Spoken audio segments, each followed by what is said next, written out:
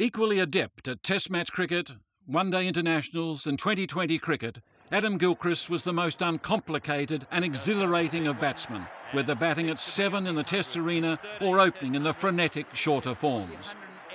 Scoring at 81.95 per 100 balls in Test cricket and a staggering 96.94 in one day internationals, his appearance guaranteed big crowds. While critics were seduced by the awesome power of his batting, his wicket-keeping withstood scrutiny, and he completed 888 dismissals in Test matches and one-day internationals. His undefeated 149 against Pakistan in Hobart, 204 not out in Johannesburg, and his 57 ball 100 against England in Perth are among the greatest of all Australian Test innings. A crowning achievement was to lead Australia to its first series victory in India for 35 years in 2004.